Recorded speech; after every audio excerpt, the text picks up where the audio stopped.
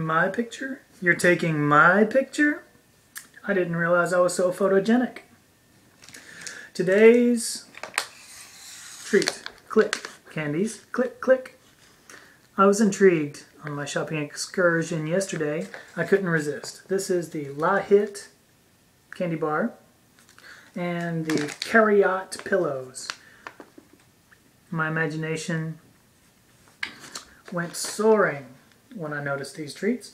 This is the new recipe it mentions here, and it says also dairy. Just some blurbs there in the corner.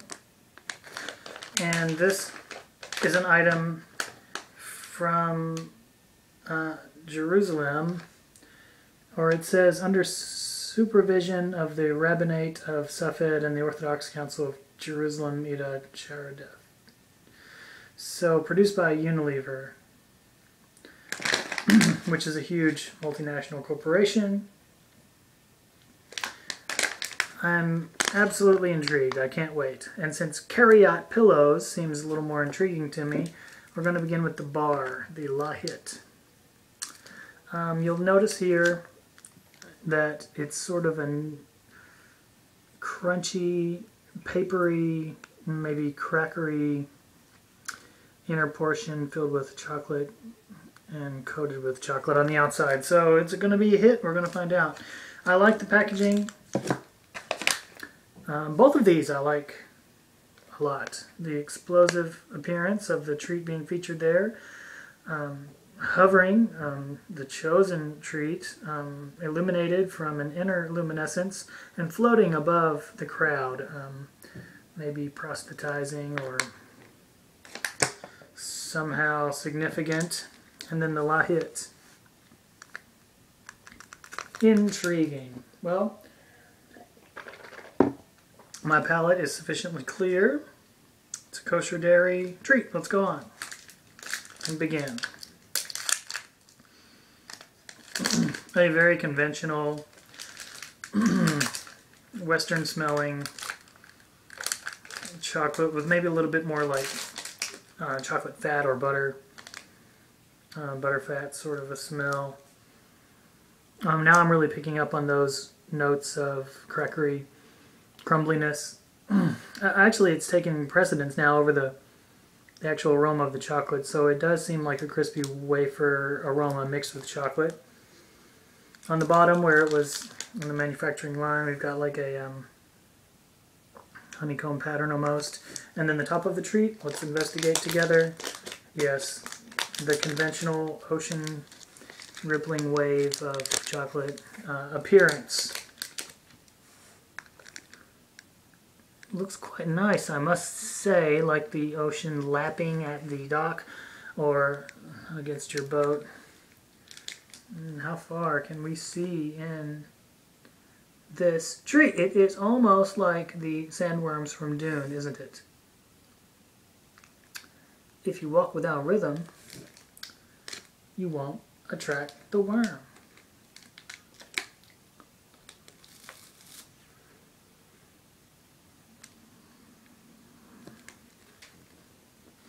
Far more crumbly than I would have thought.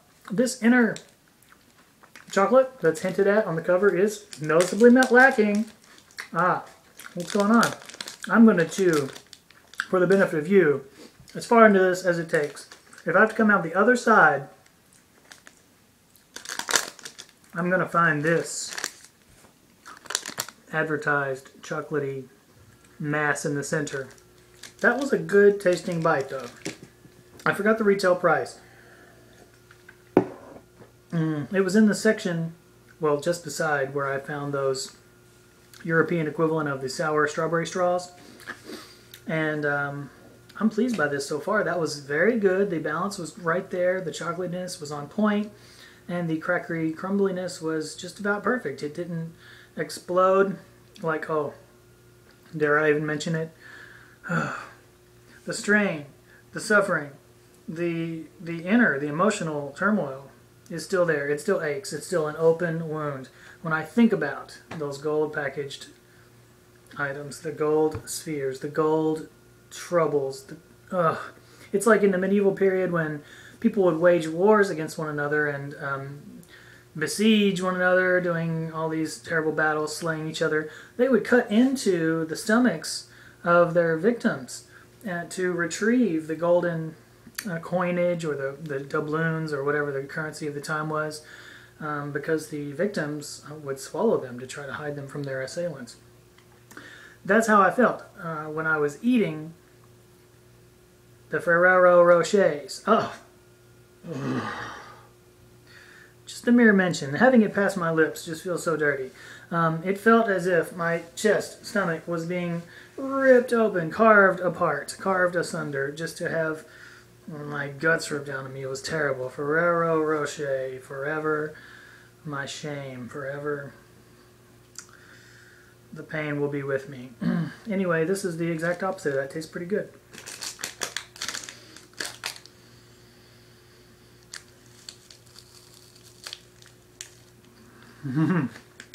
My boast was, um, am I going to live up to that boast? Because I'm going to have to bite pretty far into this to get to this chocolatey center because I'm not seeing it. A visual exam is not revealing where it might be. Hmm, no. I can't get my finger in there to do a, a physical check of the chamber. I just don't know what's going to happen here. How am I going to ever find it out? Okay, I'll try to review what's right in front of me right now. Prima facie. It's good.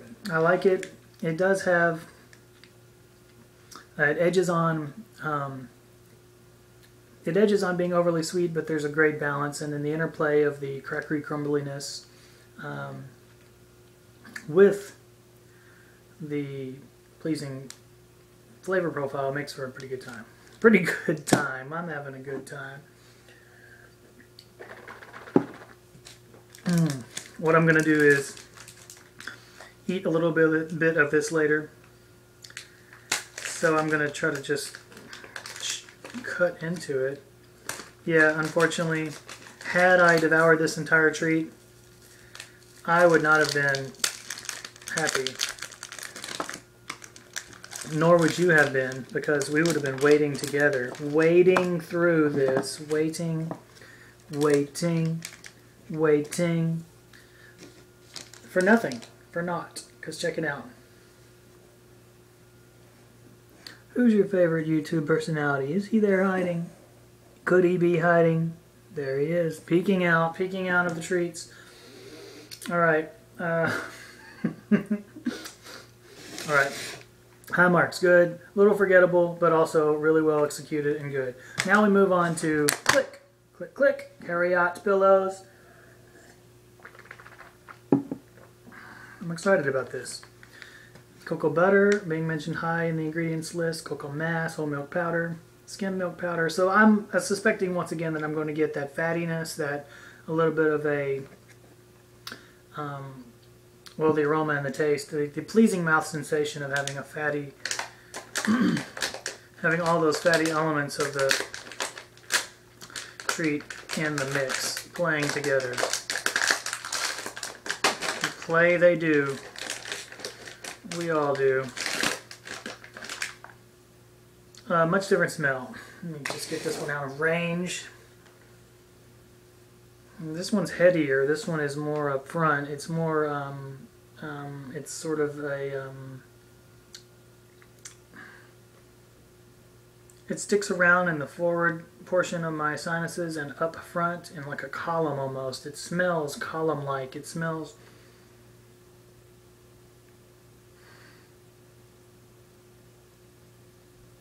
It smells like a very upfront upper nasal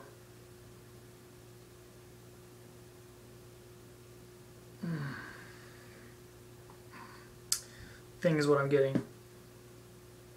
Not altogether good. It just seems like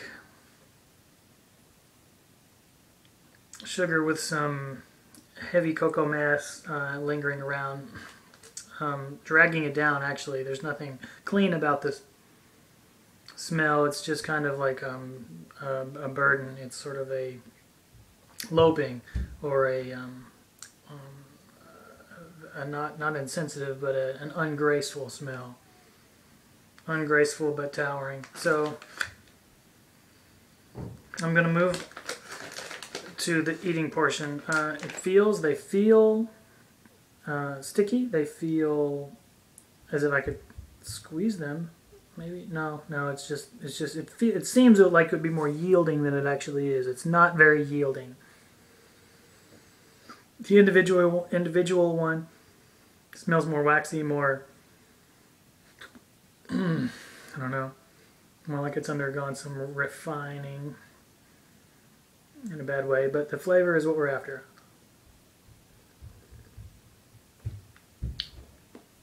I'm going to dwell with this one for a minute. I think it's going to yield um, better results if I dwell with it and I dwell with you. Already a smooth, um, creamy chocolate is coming away from the treat. Yeah. I'm already getting to the middle, which is crackery again. The chocolate's basically all gone. It melted away and disappeared from my mouth. A lot faster than expected.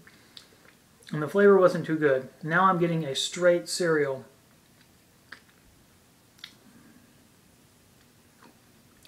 Not altogether bad, ricey. Probably is rice. Or nougat-filled crunchy cereals, it says. With hazelnuts, so it must be hazelnuts and wheat bran. So yeah, I'm getting that. I'm getting that cerealness. And then in the center was, um, well, it's strange. It, it began with a not altogether pleasing aroma, and then it moved to a not altogether pleasing, um, uh, quickly melting outer outer layer. Taste was good. It just tasted a little cheap, little low, little bit low quality. The crackeriness was welcome. It didn't seem during that exchange that I had with it to be overly sweet, but it also didn't seem, it wasn't wowing me. And in the center, it just fizzled out. It just faded away. It just sort of was like, eh. And then it got worse and worse and worse with a little spike of uh, possibility, a little spike of potential in there. But we don't nourish our potential very often, do we? It's really rare that the um, stars all line up in such a way where you can actualize. And it's a great um, amount of labor we have to engage in, a great emotional upheaval, a real um, a, a, real strength of character has to emerge for our will to exert itself and really actualize our potential. And then these Klik carry out pillows, they're just not doing it. They're not really actualizing themselves, leaving the consumer wanting, leaving your the reviewer wanting. I'm going to bite into this one. Bite it.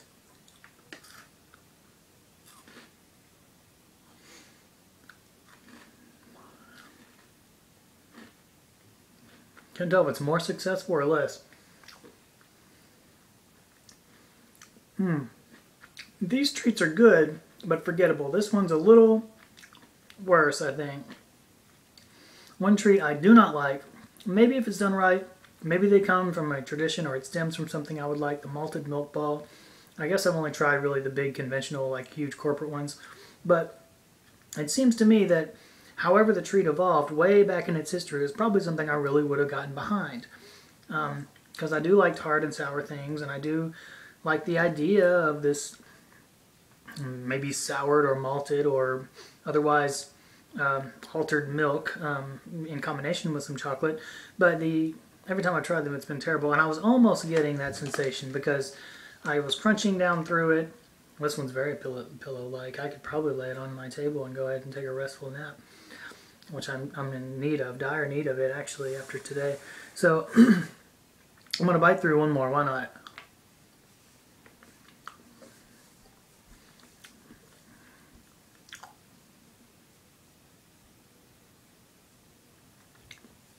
Yeah, kind of a bad cheap chocolate taste on the outset.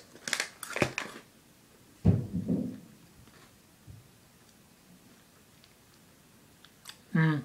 The first one I ate the outer chocolate didn't really get a chance to mingle with the Kariot pillow inner portion of the Kariot pillow. In this case, I think it did get that opportunity, but even with them mingling, it's still coming off not nearly as successful as the La Hit, because the La Hit had a uh, cleaner more breezy, lighter, more forgiving flavor. This one, while trying to evoke something a little more structurally entertaining, it falls flat because the cornerstones are are poorly manufactured, poorly done. It's it's it's altogether a little bit poor the more I eat them, but I'm going to bite into this one halfway. What I'm really concerned about is this Phantom chocolate. Are you with me on this? That is a that is light gleaming off an inner chocolate portion, which if I was designing this would be darker, richer, far more robust where as you bite into it you're greeted with something that makes it even more savory, even more enticing. And you would finish with a warmer sensation on your palate because you would travel this great um, you would just go on this great adventure in your in your candy moments. That's not what I'm getting here. I'm missing both from the La Hit and the Kariot Pillow the promised chocolate on the in the center. Even if it was low quality chocolate, it would still be chocolate, and that is what is being advertised. So I feel juked. Well, thanks for joining me today. I enjoyed doing this review. I enjoyed the chance to experience the Klik candies, and um, I would I would say if you're in the mood for something that's not too abrasive, and you come across a La Hit, hit it.